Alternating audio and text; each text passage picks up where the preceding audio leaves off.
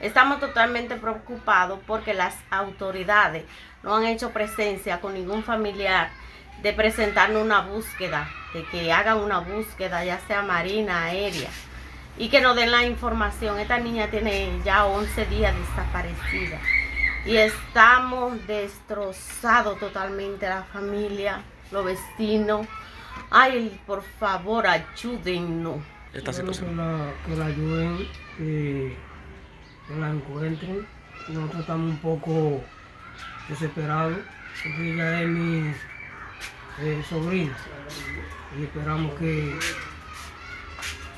todo esto salga bien.